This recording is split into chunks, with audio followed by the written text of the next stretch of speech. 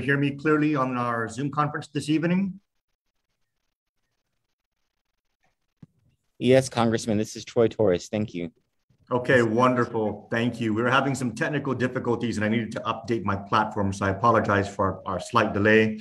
Um, earlier this evening, about one hour ago, we sent out a press release um, to our media partners, providing them some updated information on some of the relief that we're going to be bringing. I'm sorry, not relief, some of the um, infrastructure funding that we're going to be um, uh, potentially bringing to our territory um, in the um, weeks and months ahead.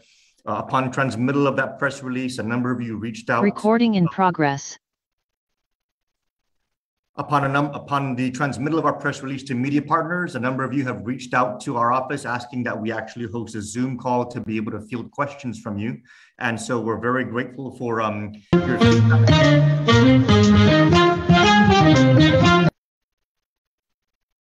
Okay. Are we good? Very grateful for your feedback, and we thank you for um, working so hard on such short notice to make your platforms available to your listening audience. I'd like to thank my staff as well for um, um, working extra extra expeditiously to be able to put the infrastructure together for us to be able to uh, accommodate this request from you folks. And so, um, without further ado, we'll go ahead and begin uh, on outlining the items that we mentioned in our press release and also some additional items that you may have some queries on. Uh, first and foremost, relative to the press release we sent out an hour ago, um, the Natural Resources Committee is going to be including approximately $993 million in total funding for territories, uh, specifically for medical and hospital facilities. And um, relative to Guam, we are estimating um, on the on the low end approximately 340 to 345 million dollars um, of that funding allotment will come to, to Guam if we are able to successfully pass it. That was what I pushed out in the press release, but let me go ahead and back up a little bit to give you guys some greater um, uh, perspective. There are three major vehicles that are moving through the Congress. We've been working very hard over the last several months um, to make sure that our um, territorial interests are included in all three of these major vehicles. The first one is the infrastructure bill. Um, that's approximately $1.5 trillion. The second is a $3.5 trillion budget reconciliation bill. And the third is the um, annual appropriations package. So let me go ahead and break down um, what's in each of these three major vehicles, and then we'll, we'll field questions upon my conclusion. First, in the 1.5 trillion infrastructure package, this was actually the amount that was um, negotiated between the Senate and the House. The Senate actually passed their version, and the House has their version as well. The good news um, is that while the original House version was was greater than the Senate's version, the Senate's final price tag was the um, approximate 1.5 trillion. The good news is we were able to make sure that all of Guam's provisions that I outlined in my congressional address at the end of June we were able to secure all of Guam's provisions, even in the reduced amount. So for the infrastructure package, we are still anticipating $20 million um, specifically for bus shelters. We are still anticipating access to about $5.25 billion in um, discretionary and competitive grants that can be used to purchase um, buses and electric buses and we are still anticipating an increase in our federal highway funding from roughly 15 to 18 million to about 43 to 45 million. So um, those are the three major items that we're going to be um, looking at securing in the infrastructure package. Um, and those are the three items that we did outline in our congressional address in the end of June. We're very, very grateful for leadership to um, uh, work with us in making sure that even though the final price tag dropped by almost 50%, we were still able to keep 100% of the items that we were able to itemize um, to the people several months ago. Um, that's the infrastructure package. On the budget reconciliation package, this one is also moving forward um, and, and we're, we're going to be rolling out what we are able to have secured as language in this um, as it becomes available. And so the first um, uh, committee that we're able to um, update the people on is the Natural Resources Committee. And in that committee, as I mentioned earlier, there's $993 million that's targeted for medical facilities and hospital funding for territories, of which 345 million is estimated to be going to Guam.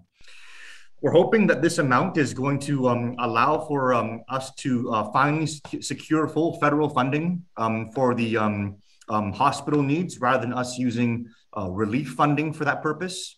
Our feedback has been um, a mixed bag in terms of whether or not the governor's original intention for that 300 million will actually be um, aligned with the American Rescue Plan. There has been no commitment federally that using those relief funds for that purpose was going to be authorized. So we are hopeful that this 345 million in the budget reconciliation is going to um, successfully move forward. We did, excuse me, we did attempt this last year but the challenge that we had last year was last year's budget reconciliation attempts were specifically for COVID 19 relief, emergency relief, and not necessarily for uh, infrastructure investments. In this case, the, um, the entire tenor of, uh, of this reconciliation package has been very infrastructure focused. And so we're confident that um, uh, in, in line with maintaining that theme, this funding source should be available um, and should be considered uh, more seriously than it was last year. Uh, we have additional items in the reconciliation package that we're still waiting to um, price out. Um, one of them is going to be um, trying to secure funding for elderly and disability housing facilities uh, through the Financial Services Committee and the funding that they're going to be working with uh, on the reconciliation package.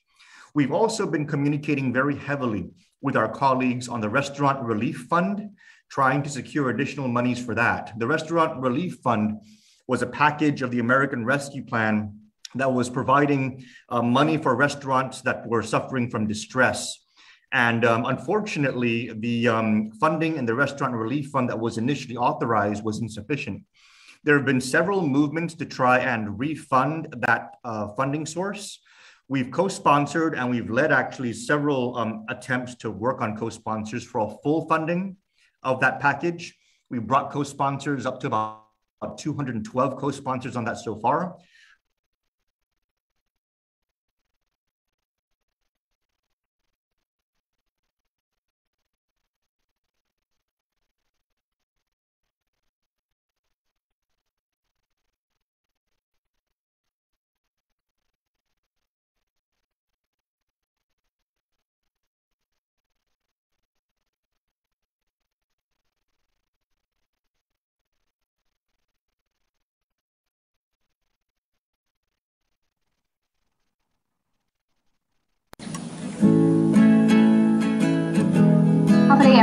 We're having a little bit of technical difficulties. If you can just give us a, a moment. Thank you.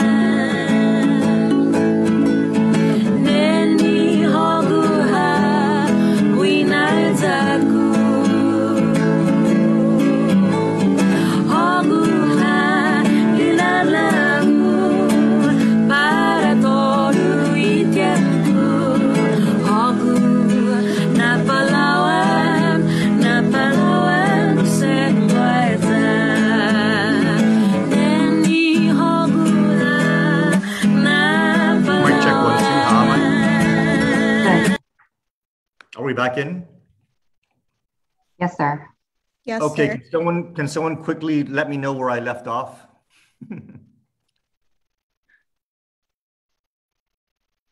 Congressman, uh, the last uh, I heard you were, this is Troy, by the way, you were talking about the restaurant relief program. You were just starting to talk about it and then it cut off.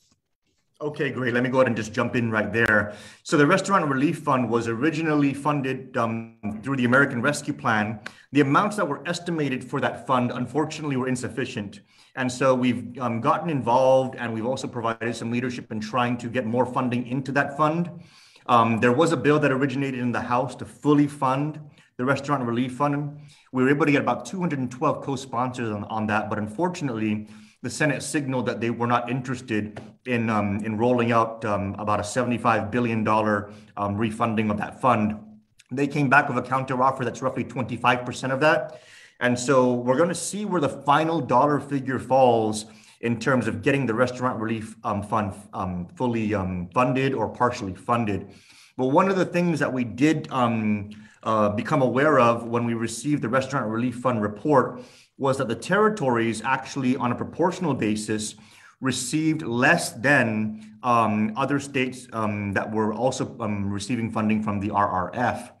And so, one of the things that we're going to be doing is communicating with the committee, communicating with the body, and communicating with the agency to at least require them to true up our portion if any new money is provided before new money gets rolled out to take whatever is provided and first make the territories whole on an equal basis, and then from there continue to roll out the program. The reason why we want to do that is because at least we're going to put ourselves on an equal playing field. We're still trying to nail down the basis for why our restaurant relief funding was less than other jurisdictions. Um, some theories are that the RRF required IRS certification. And because our rev and tax all territory revenue tax, not just Guam, but all the territories, our tax authorities are not um, IRS. We're outside of IRS. And so that may have created a disconnect in the funding mechanisms, but that was never the intent of the law or of the program. So we're going to um, work as hard as we can to try and at least true up all of the Guam um, uh, applications outstanding to at least be on a level basis with everyone else that's already received funding and then from there, any new funding um, to also be distributed on a level basis. Um, so that's um, so the um, hospital money and the restaurant relief funding so far I can comment on. Um, both will likely be included on the reconciliation, that second vehicle. Um, we also have work being done on the shuttered venue operator grant program. Uh, we have a major venue, a major operator that's um, still awaiting approval. We've been working diligently to try and, and see how, how um, we can assist in uh, getting that, that application expeditiously reviewed. Uh, and if there are any other um, entities out there that apply to the Shuttered Venue Operator Grant Program, please let our office know so that we can also follow up and see where, where we can assist in trying to get um, your application properly um, assessed. The third vehicle, the appropriations package, um, that one is probably going to move later um, than the first two, if not simultaneously, but I would, I would think later. Um, and the big news on that one is a $3 million that we mentioned for the Fishermen's Co-op. We were able to ensure that was included in the appropriations package. So everything that we've pressed out over the last 12 months, 12 to 18 months, and everything that we've announced so far uh, continues to track on, a, on forward progress. Um, and as these things firm up, we're going to be um, channeling back to the people of Guam and through our media partners uh, to be able to apprise our people of the situation. Um, specifically to the 345 million for the hospital, that's going to be included in a um, in a markup session that we're going to be having in the Natural Resources Committee uh, that is anticipated for September 2nd. So in the next several days, um, um, at the conclusion of this week, we should be able to see whether or not we're going to be um, securing those funds and moving them into the actual reconciliation package. Let me go ahead and pause here and um, turn it over to our moderator for any um, to moderate any questions from our media partners. Thank you. Hafa Adai, everyone. Thank you again for joining us today. If you have a question, um, we will now be opening up the floor and uh, please feel free to let us know in the chat if you do, and we'll get to those questions in the order we receive them. Um, first, we'd like to recognize Mr. Ken Leon Guerrero. Thank you. I sorry, Congressman, this is actually Troy Torres. Uh, I think Ken use my my laptop, so that's why the Zoom is on Ken. Anyway, Uh, here's me. It's my then Troy, not him. So um, uh, this uh, on the hospital thing, on the 345 million dollars for the hospital. Uh, what is the likelihood uh, this is going to get passed? We will have to see. Um, right now, the political environment is just very unpredictable.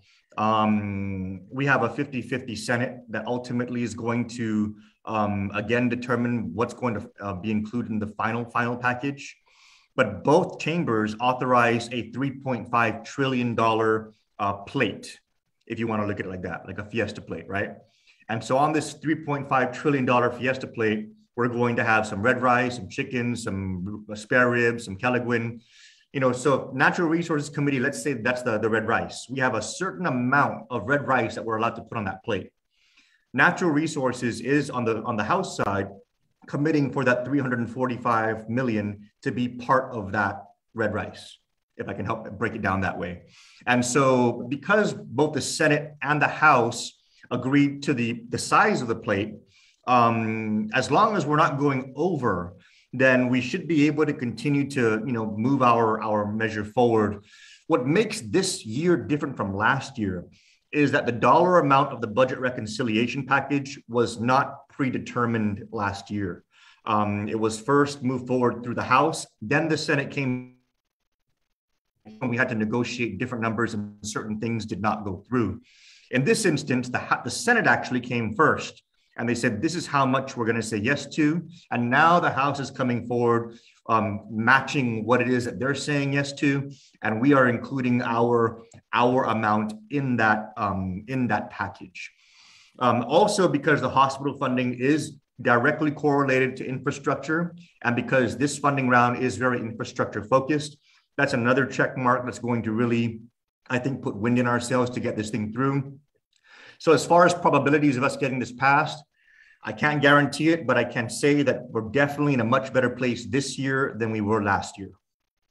And um, are you uh, are you saying in, in this push for uh, the uh, this way of funding uh, GMH uh, is this is this also a way of saying to the governor, you know, governor, uh, you could use that three hundred million dollars on on other things, and if so, what are those other things you are suggesting she might want to use that money for?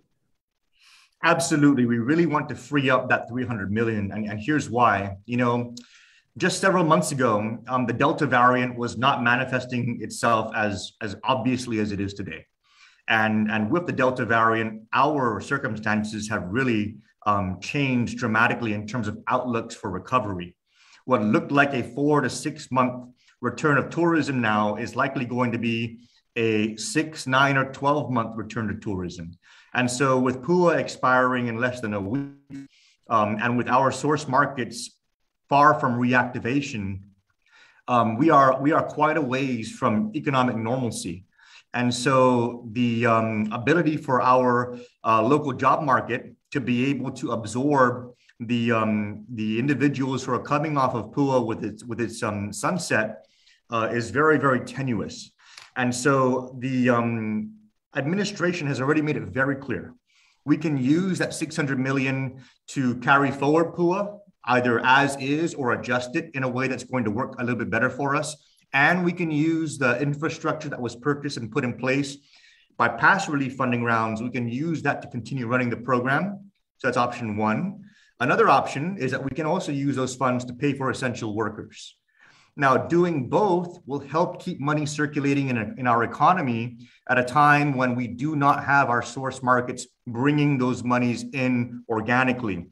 And so, um, as much as everybody wants to, uh, of course, move forward a hospital project, and as much as I support that, um, the, the purpose of the relief funds, first and foremost, was for relief.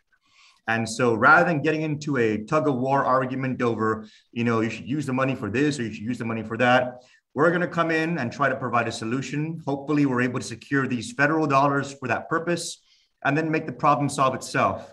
Take that 3 million, use it to, to deploy resources to our people and, and do so very, very soon so that this um, lag time between our organic tourism recovery isn't going to devastate us in the next three to six months. Thank you, Congressman. That's all I have for now. Thank you so much. Thank you. Thank you for your questions, Troy. Now we'll be taking a question from PNC Digital.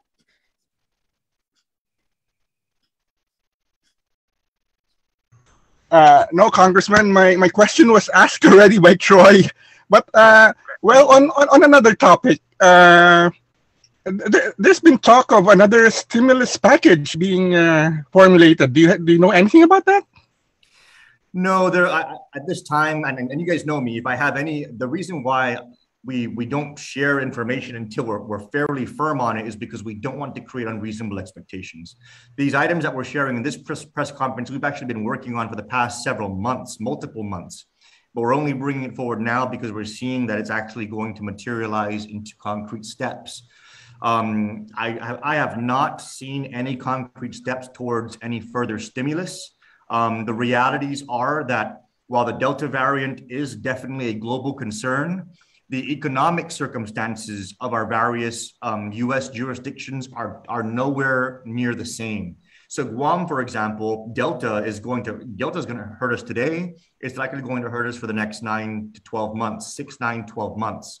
The US economy is not, you know, as tourism dependent as ours is. It's more consumer spending driven. And because we have, you know, things opening up over here and a lot more consumer spending activities really ramping up, I mean, it's one of the reasons why we've seen a lot of improvement in US job markets. We've seen a lot of improvement in US equity markets. We've seen a lot of improvement, actually, a little too much improvement in um, in um, producer prices and um, consumer prices because demand is outstripping supply and it's causing some temporary inflation. So as far as another round of stimulus, I don't see too much of an appetite for that out here with respect to what's going on across the country.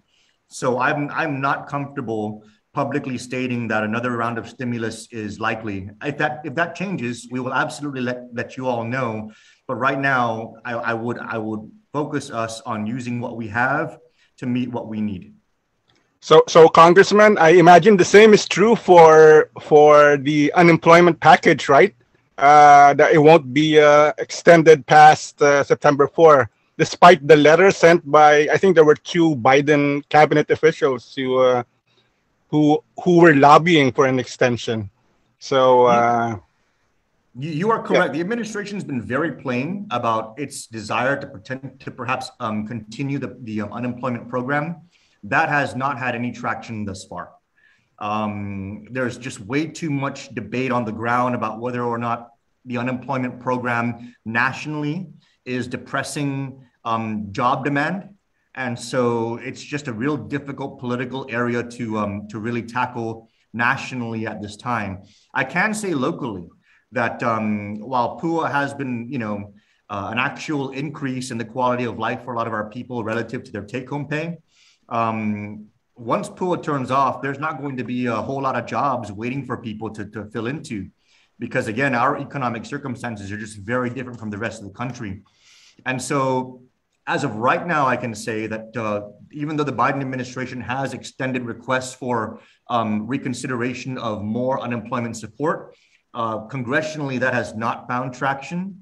Uh, but that could change if PUA expires in the days ahead if the Delta variant starts showing up in economic contraction on a national basis, and if the absence of PUA does not materially change the unemployment or the job demand situation, um, then those things may come back onto the table. But as of right now, that is that is that is not the case. Okay, thank you, Congressman. Thank you. Thank you for your questions. We'll now move on and recognize Mr. Nestor Licanto from KUAM News. Thank you. Thank you, Congressman, for this opportunity. Um, so I just want to get back to the 345 million. So it's going into a markup later this week, correct? It, and can you uh, elaborate on the verbiage? Uh, is is it uh, a uh, line item within the 993 million for the other territories? The 993 million is going to be distributed based on um, a formulaic basis, so on a percentage basis, likely to be population driven. The 993 million does not include Puerto Rico, so it's going to be Guam, U.S. Virgin Islands, Commonwealth, Northern Marianas, American Samoa. And so, because of the four, um, we are uh, the largest, with Virgin Islands very close behind us. That's how the percentages are going to be breaking down. And so it's going to be formulaic based on the 993 likely population uh, on a percentage basis. Okay, and so if it makes out of it makes it out of the natural resources markup session, where, where does it go from there? And then um, I guess if it uh, if it uh, when would we know um, when it's locked up? Because presumably uh, the governor wouldn't want to spend her 300 million from the ARP until she knows that the 345 is for sure.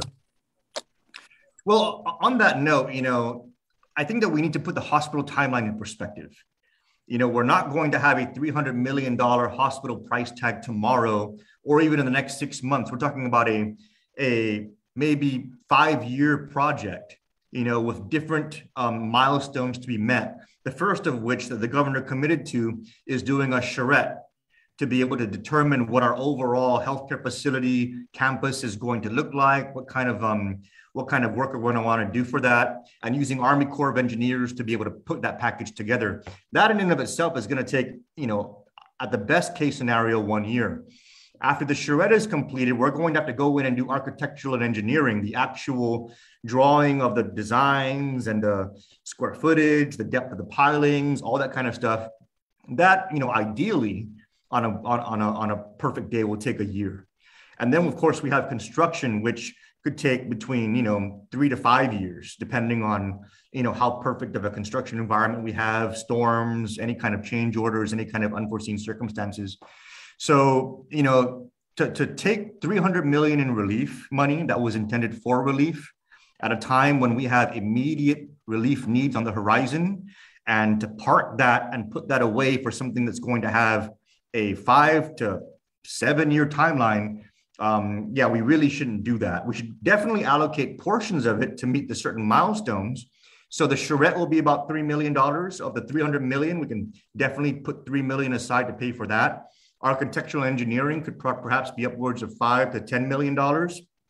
And then of course we have the, the, the various stages of project development after that.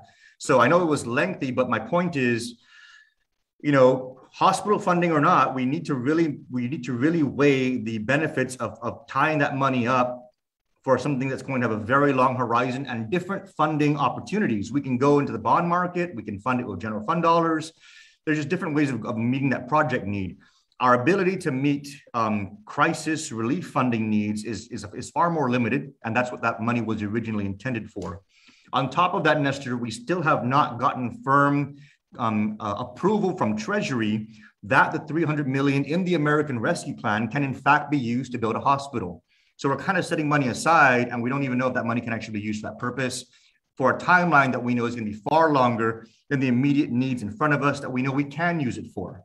Like paying essential workers or like running a pool program or scaling it to you know tourism recovery and the job market improving. I mean there's just so many different things we can do. But that being said um, after we pass it in markup it's going to go to the budget committee and as long as it meets all of the rules to be included in the budget it's going to be included and right now the committees are very very careful about making sure nothing passes markup that isn't already going to clear the committee the, the, the committee budget process so on the House side, once we clear markup, we should be okay. The real question is going to be, once we pass the budget reconciliation side on the House, will our language match up with what's being passed in the Senate? And so again, that's going to be the final hurdle. It's going to perhaps be our biggest hurdle. We're working on communicating with our colleagues in the Senate to be able to uh, firm up their, their support for that funding mechanism.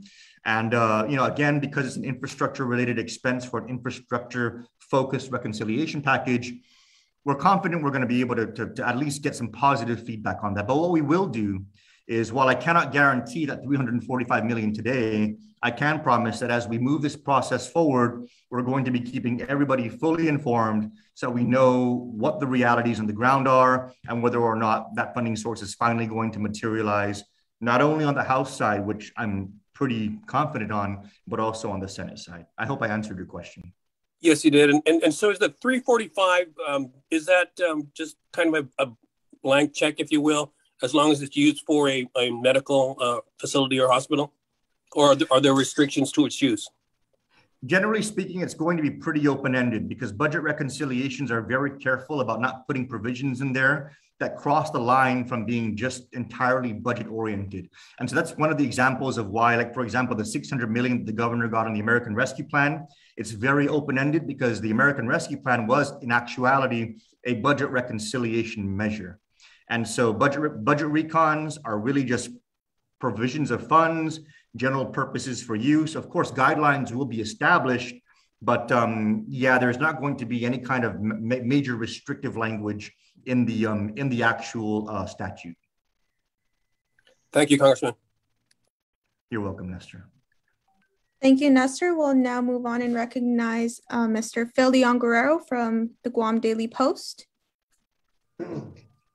Thank you very much. Thank you, Congressman. I, I just wanted to um, maybe explore a little bit more of the timeline beyond the reconciliation. So if reconciliation for uh, the money that you outlined in the bill is supposed to happen around next week, uh, when would further votes be held either on a committee level for the full House and then uh, markup with the Senate? Very difficult to say, and only because there's multiple reconciliation packages in multiple committees. So for example, natural resources is already moving forward on September 2nd. Financial services, um, we haven't even begun to um, finalize the details yet on our package. So it's all going to depend on when the committees are able to push everything through. There is um, leadership is advising um, the month of September and hopefully mid-September as a um, as a work period to be able to have the committees finalize their language. They can push it to budget as quickly as possible. So hopefully before or, or during, uh, b- before the end of September, we should have all the different packages moving into the budget committee.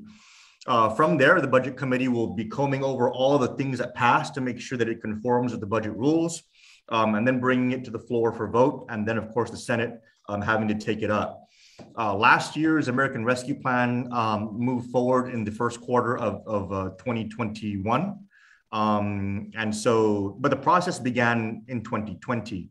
Um, again, similar to that, this process is beginning in 2021. Um, at the latest, we're going to see something materialize 2022, but um, it all depends on how quickly we're able to um, get uh, terms agreed to between the House and the Senate. I know the delay on the American Rescue Plan was the Senate going back and forth with the House because, again, as I mentioned earlier, the initial price tags were not agreed to from the onset. This is different. This reconciliation already has its initial price tags uh, agreed to. Um, the fundamental question, though, is going to be whether or not at the end of the day, we're going to have the 50 Senate votes uh, to be able to pass what is agreed to. Uh, I can't, I don't have a crystal ball. I don't know uh, uh, whether or not we're going to have that in the next three months or whether to, we're, we're going to take another six months to get something through. Um, so it's very difficult to nail down a firm timeline. But I can say that relative to the timeline of last year, where we where it took us all the way up until um, the following year, February, we should be getting something through before then, given the fact that the price tags have already been agreed to in advance. Uh, so just to make sure that I understand, none of the the processes that you're describing are tied to the end of the fiscal year. The, the congressional action can take place October and beyond for this package. Yes, yes, these are different from um, these are different from um, appropriations uh, for fiscal year um, uh, continued operations. Okay, and then um, if I could just uh, one more question, Congressman, and I'll let my other colleagues uh, take over.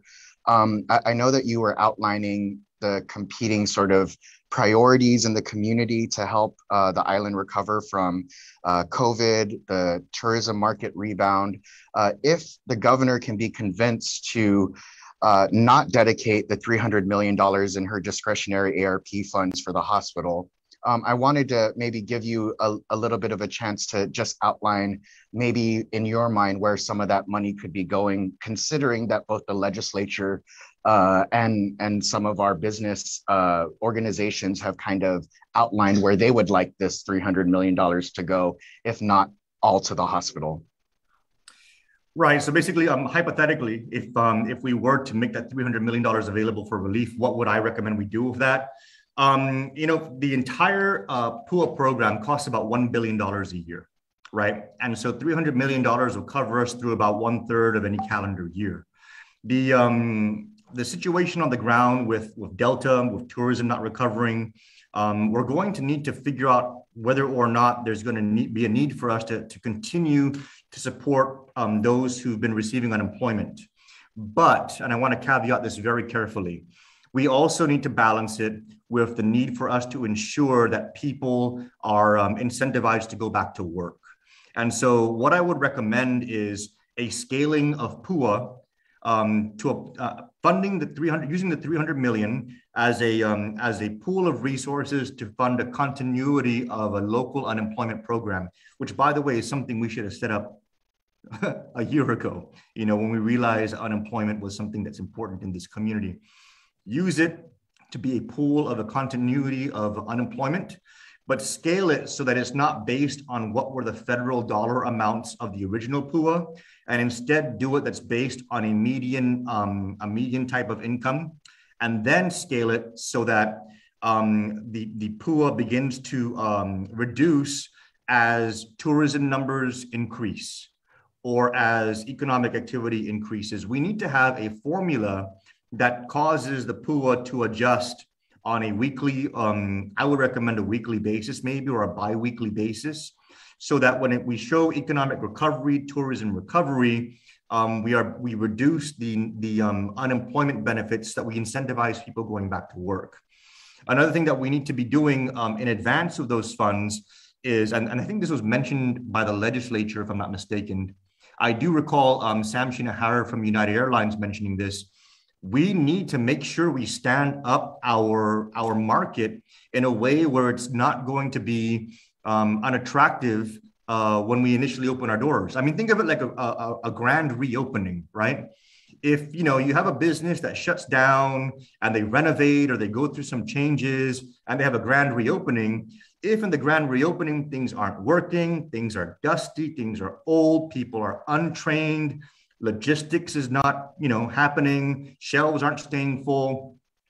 That's going to that's going to really turn off the initial um, experience of those who are, uh, are are visiting the establishment. Same thing goes for guam same thing goes for our tourism market. If we do not invest in getting our local businesses to be um, customer ready fully customer ready even when the first few are walking through the door then those who walk through and have that bad experience are going to go back and say hey you know what maybe we should check out you know the other destinations because this one's certainly not not ready for for us to be able to fully enjoy ourselves. And so um, that's something that's a reality that we're going to have to contend with. Um, the 300 million the 600 million the full 600 million can be deployed also for that purpose. And so you know i know that you asked about 300 million but, but the reality is everything that i've just talked about is actually applicable to the full 600 million so, you know, that's why I think the legislature is really frustrated about wanting to know where the money is going to go. I think that's why there's a lot of frustration in the community about how that money is going to be spent, because there's some very obvious needs now, today, and definitely in the in the weeks and months ahead that that absolutely those funds could be used for. And then and then as a final note, and but definitely not not least, you know, the essential worker pay. You know, as I mentioned before in previous in, in previous press conferences, our essential workers were the ones that have kept us going all the way to this point. You know, um, we need to make sure that that that that effort is is recognized. I mean, even if it's just nominal, even if it's just almost symbolic, the absence of that is is not something that's going to bode well for us when those workers are are in a more robust economic circumstance and able to really weigh their options on, on where they're going to go and where they're going to invest their time in their future. But thanks for that opportunity to provide that clarity, um, Phil. Thank you, Phil. Now we'll take about a minute or so um, to receive any more questions from our media partners for a second round.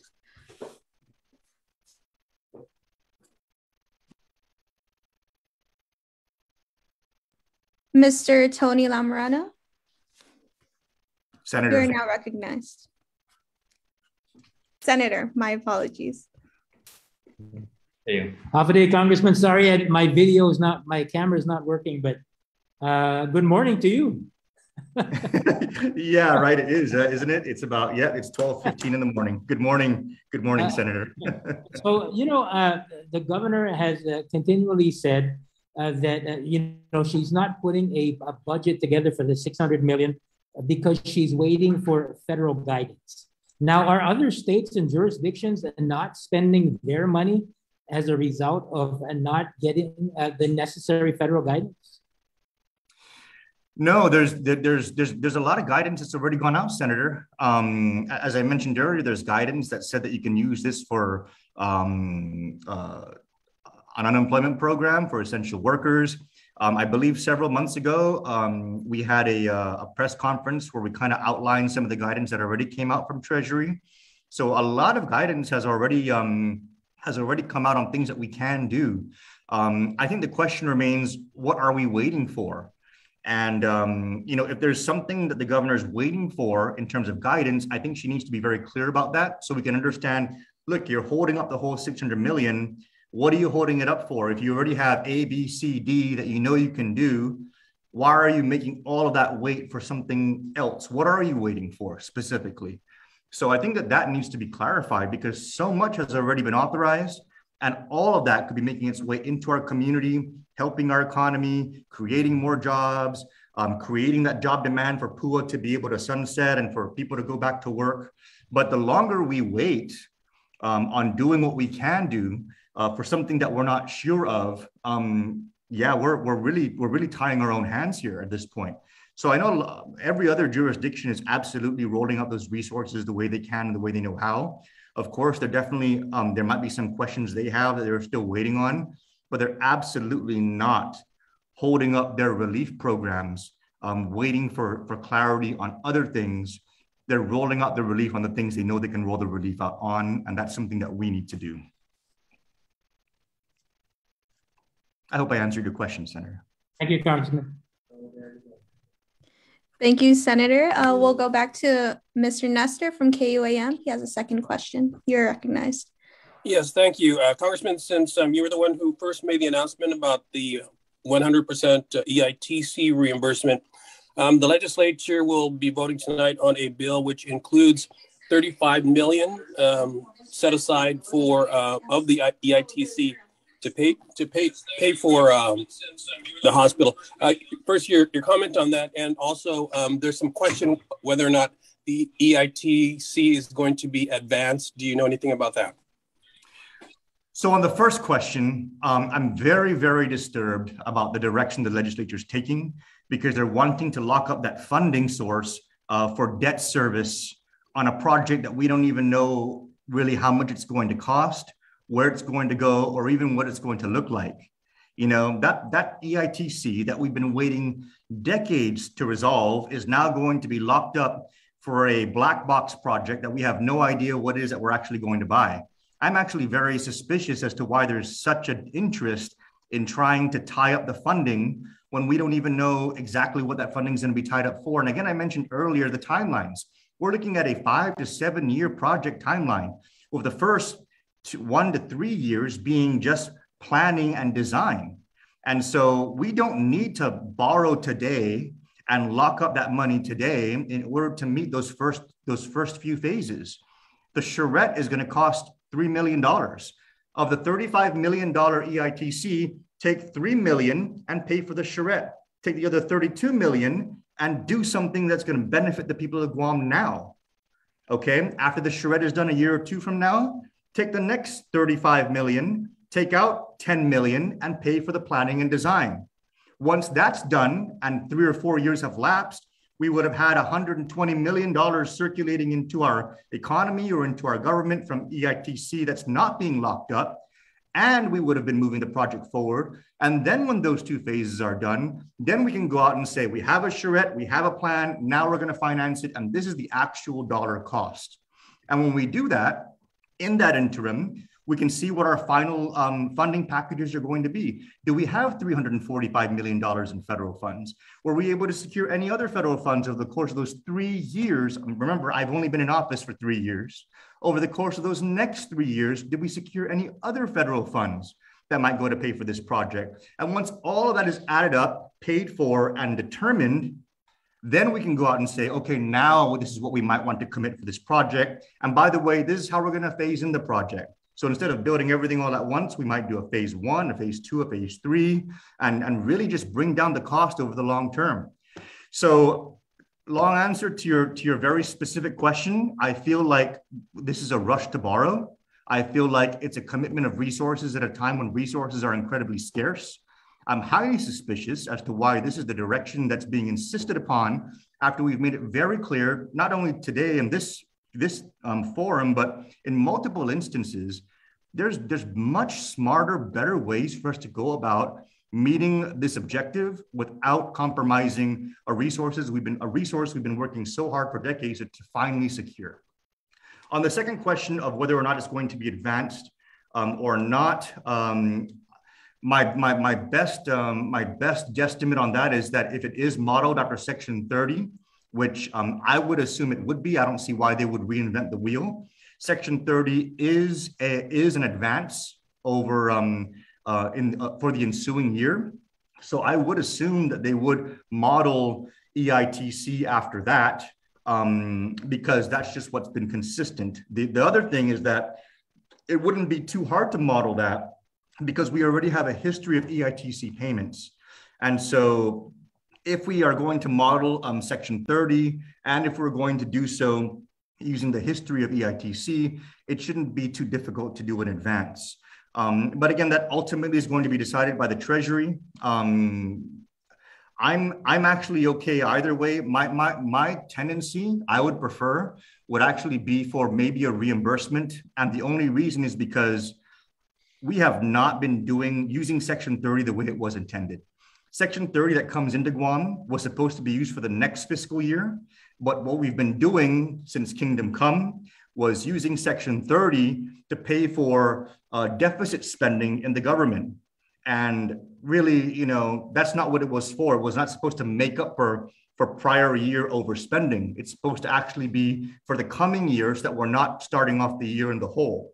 So, you know, if, if I had to choose between one or the other, I think that the better the better option that would give us more fiscal discipline would be a reimbursement because then we're not going to be misspending the funds for other purposes. I know Speaker Terlaje has tried, I think, on four separate occasions in this budget process to try and focus EITC into tax refunds and has been unsuccessful. You know, and that's another that's another red flag. You know, if you're not using that money to pay tax refunds, you know, and we're locking it up for borrowing that's not even going to be necessary over the next three to four, two to three years, you know, why, why are we doing all of this and, and, and why is it not making any financial sense?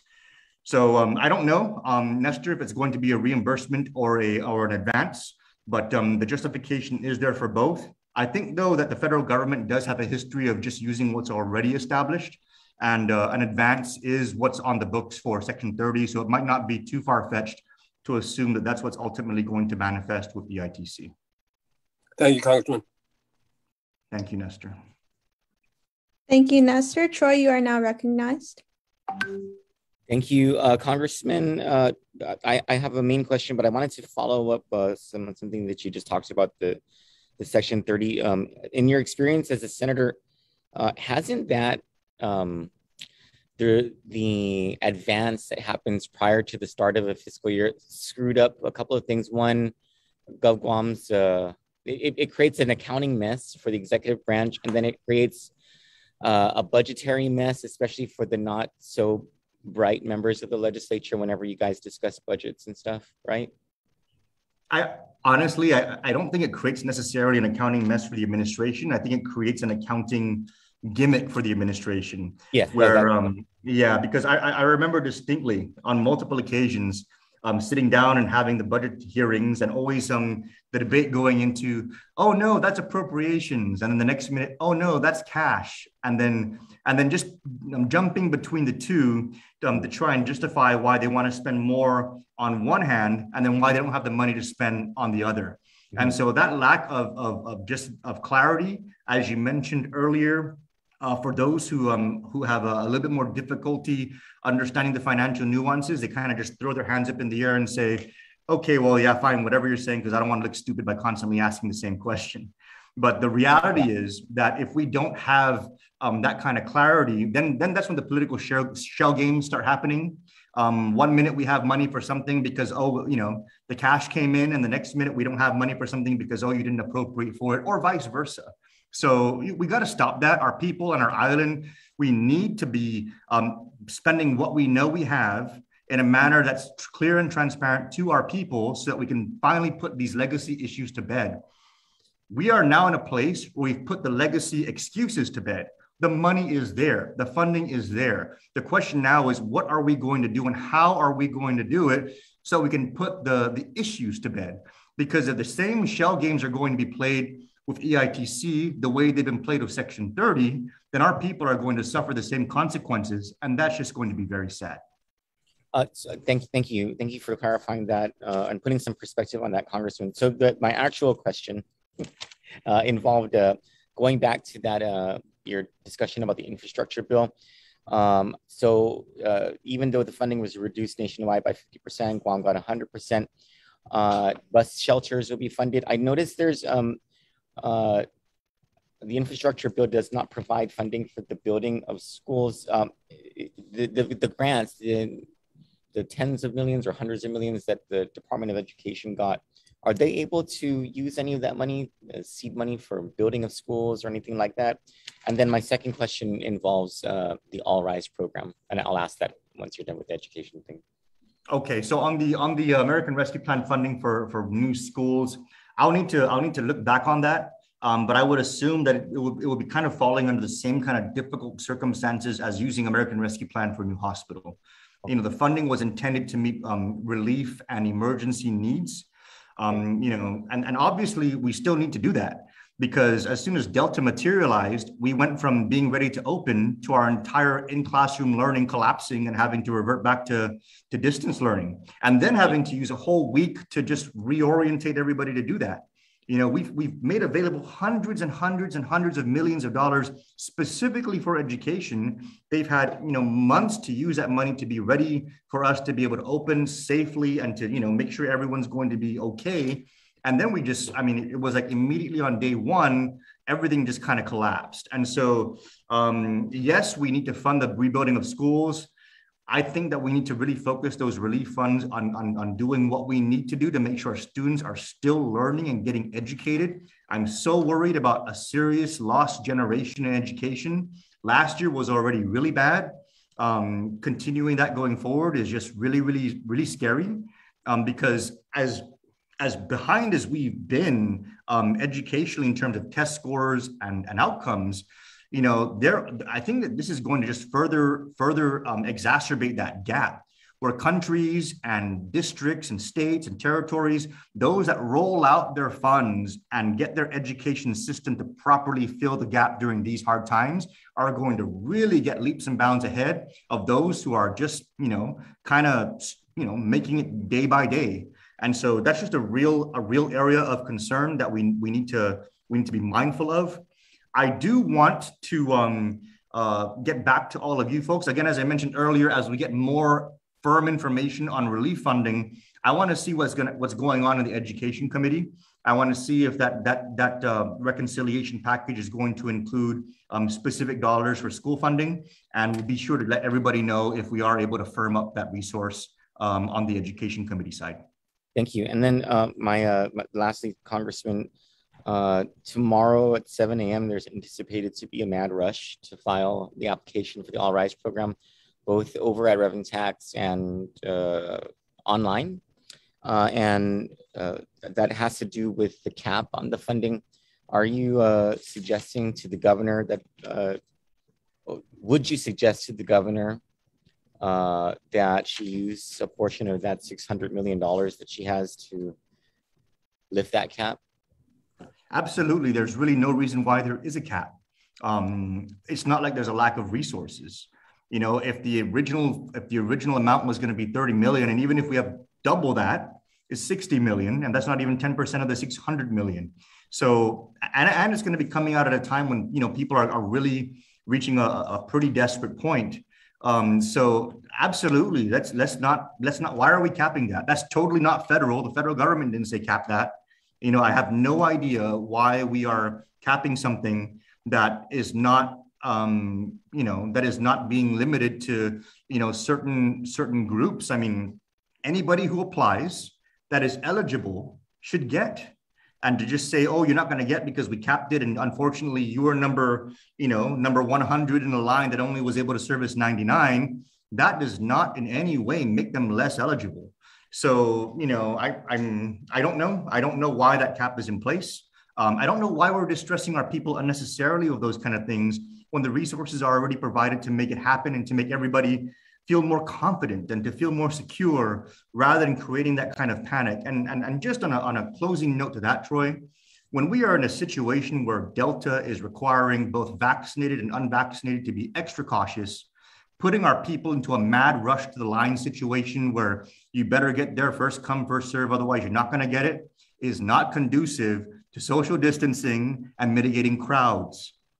You know, the last thing we need is for people to get up in other people's faces and shouting at them because why are you cutting in the line? Or, you know, I just went to go to the bathroom and I came back. And, you know, that's just all unnecessary. We need to make things as fluid for our people and as safe for our people as possible. And that's just not what the, the cap is going to do and the mad rush is going to do um, the way with the, with the way this program is being rolled out. Thank you, Congressman. Thank you for your input. Thank you for your questions, Troy. At this time, I'd now like to recognize a participant by the name of Apps SPB. Am I correct in stating that you're representing PNC and K57?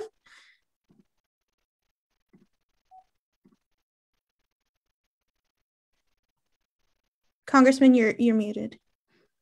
That is Sorensen Pacific Broadcasting. That should be um, PNC and K57.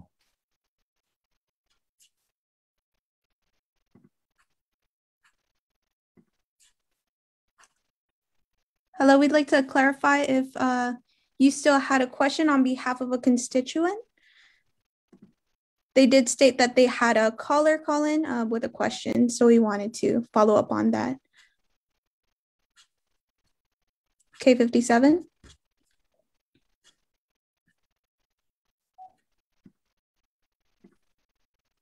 Yes, there, there's no questions here. Thank you. You're now recognized. You may ask your questions. I think they said that there is no question. Yeah, there's no, no, we don't have a question. Sorry about that. Okay. So we'd like to take a moment now if uh, there are any outstanding questions. Okay, we do have a Phil Leon Guerrero from Guam Daily Post. He raised his hand. Uh, thank you. Uh, Congressman, if, if I could uh, switch tracks just a little bit, uh, still federally related, I promise.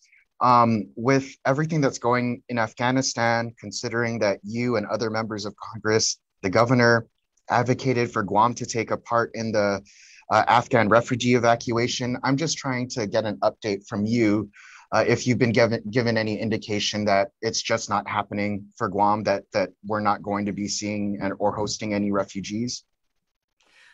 It's my understanding that the um, evacuation has concluded at this time and that Guam has not received any Afghan refugees as part of the um, organized evacuation. Um, my understanding is that we've made it very plain that Guam is, um, is, is ready to be a participant and to facilitate in, uh, in, in this effort. Um, and we and we did not um, mince words when we made it very clear that's something that uh, the people of Guam, um, ha, you know, are, in our pride and in our in our support, are absolutely willing to do for those who've helped our our our sons and daughters, brothers and sisters while they were in the combat zone. Um, but that being said, uh, the uh, the actual evacuation plan that was rolled out did not uh, have Guam as a as a staging destination. They used other destinations to include um, some East Coast destinations out here. Uh, they, I, I, was very clearly um, uh, reassured that if at any point in time it was going to change and Guam was going to be involved, our office was going to be informed, um, but that, that notice never came.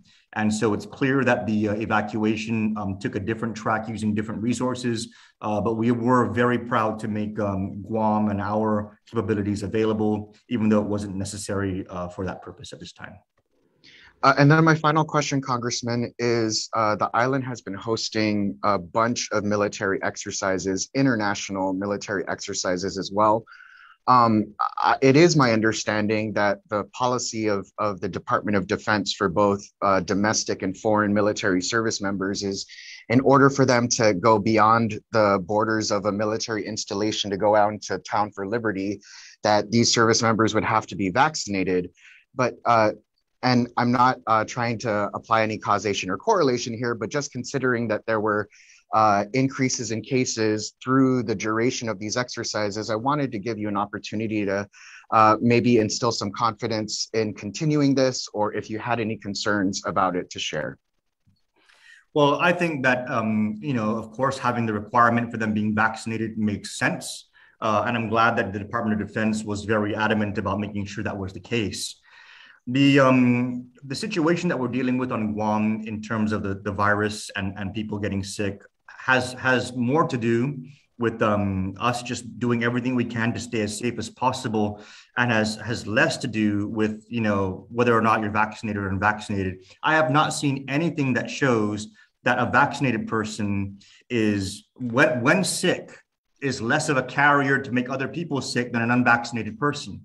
And so as far as transmission um, that's just i mean I, I haven't seen anything that says that they're less communicable um, when when but as far as whether or not they have a less a less chance of getting sick, of course we've seen the data that does back that up. My point is um, vaccination or non-vaccination, we all got to be careful. Uh, we if we get sick, if we are carriers, it, we can make other people sick.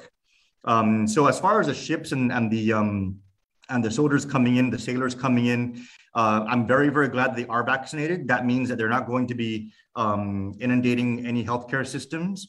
Um, it also means that um, if they were vaccinated and they've been on the ship and they traveled over to here, and of course that travel may have taken X number of days, uh, if they are still asymptomatic, it's very unlikely that they were carrying the disease outside of the base, um, being, um, you know, being um, without symptoms uh, when they're departing. And, and, and bottom line is we don't have any visitors. And so all of that economic activity that's happening with all those vaccinated patrons is no different than all the economic activity that we can generate from vaccinated um, locals and residents also going out into the community. So um, I really don't see the the um, the situation as being something negative. I think that the the requirement for vaccination was in, in fact a positive, and um, you know I think that those those exercises in these past few months have been the, the, the real few uh, opportunities we have had to keep, as I mentioned earlier, our economic engine, you know, the wheels turning so that we're not building up grease and we're not going to break down and, and fall apart when we actually need to fire that engine back up again. So uh, yeah, I'm just, I'm, I'm, I'm, i do want to encourage everyone to please get vaccinated. Um, that would absolutely make it less likely that you're going to, to, to really, you know, suffer, although there's no guarantee. Um, but whether you're vaccinated or not, um, take all the precautions you possibly can because we can vaccinated or unvaccinated, we can still spread the sickness. And we need to make sure we minimize that, especially with this Delta variant. Thank you, Congressman.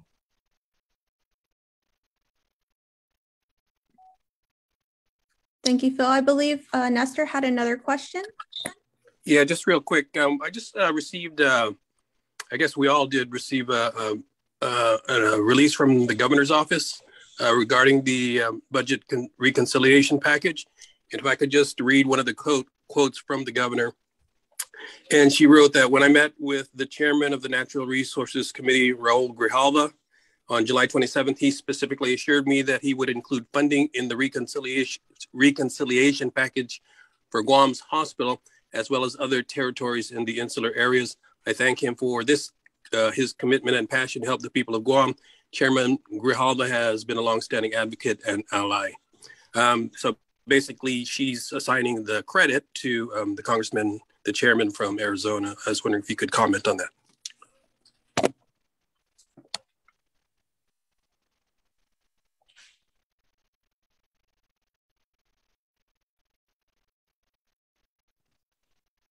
I'm having technical difficulties. Can you hear me? Yes, can hear you. Yes, sir, we can yeah, hear having you. technical difficulties. Can you hear me? Uh, yes, Yes, Congressman. sir. Did you uh, did you hear the question? Do you want me to repeat? Apologies, everyone. I believe the congressman is logging back in. He had to um, log out and log back in to uh, resolve the technical issues. Please give us a moment.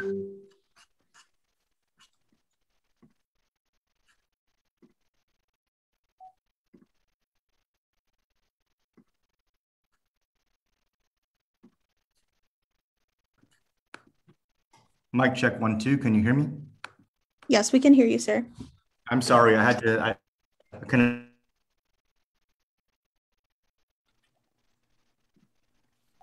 Sir, we cannot hear you.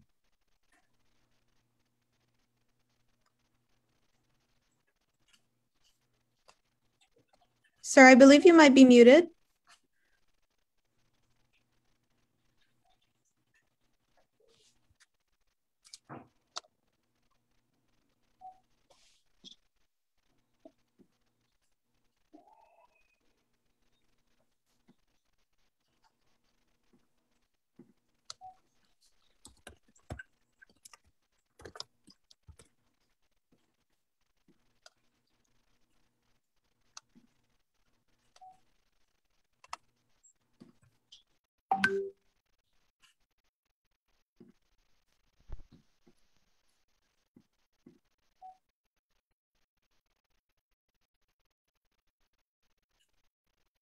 Our sincere apologies, everyone. Please give us a moment.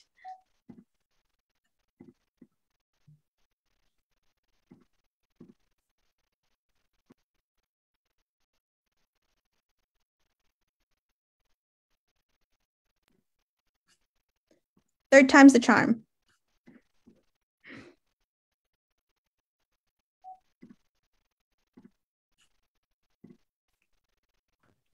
Let me try this one more time. Hello. Yes, we got you, sir. oh. Um, yeah, as we mentioned earlier, we've been we've been working on this for months. So um, the message that was passed on by um, uh, is not inconsistent with um, with what we're sharing. Um, that just uh, underscores the point. If we are, if that commitment is on the table, why are we holding that money um, on the 600 million, not developing a plan and working with the legislature to roll those funds out for relief for essential workers, for unemployment, you know? So I, I'm, I'm not quite sure what the purpose of that press release is, given that the information is consistent, but it does create the, um, it does underscore that the question, Governor, if that money, if you already knew that money was going to be committed, why are you still holding your 300 million back? You know, I hope that that, uh, I hope that that's a forbearing a forbearance of what we're, we're, we're, hopeful to see and more relief coming to our people because they're they're just really really struggling right now. I, I'm sorry, are you able to hear me still? Uh, yes, thank yes, you, sir. thank you, Congressman. Okay, I was like, oh no. okay. Thank you, everyone. Thank you, Nestor. Um, if there are no further questions, uh, I'd like to return the floor to Congressman San Nicolas for some closing remarks. Uh, well, again, thank you guys so much for um, for making time. I, and I, I, I, what I thought was going to be a simple press release item obviously was more worthy of a, of a press conference item. So I thank our media partners for uh, requesting an opportunity for some Q and A, um, and thank you for making your, your, platforms available on such short notice. Again, I'd like to thank our staff for um, scrambling the operation um, in, in such short notice for us to be able to do this. Uh, I am in DC right now, and it is about 12:45 in the morning. But uh, as always, we'll make ourselves available to, to answer any questions, give our people any kind of guidance, and provide any kind of perspective based on on what we know the realities are on the ground and um, what the resources we're looking to secure um, can be used for in the greater context of all the other resources that have already been put on the table. Um, we, we won't we won't bring things to you that we're not we, we don't feel like they have traction and a likelihood of, of success um, all these items that we outlined in this particular press conference we will continue to keep you informed of um, as we as we progress forward um, specific to the natural resources funding and the 345 million for the hospital again we do have a markup hearing on the 2nd of september in the next few days uh, and we will be notifying our media partners and the public um, of the outcome of that uh, but again, thank you all very much for making the time and um, stay safe, Guam, please. Uh, let's let's do everything we can to to try and keep our our, our numbers our numbers down and um, you know keep keep our community safe. And and if you're not vaccinated, please consider doing so. Uh, we just we, we just need I, want to be able to to enjoy you know everybody's company um, many many years from now, and and the more we can do to to ensure that, the better. So thank you all very much for the opportunity. Si Yu'os Ma'ase.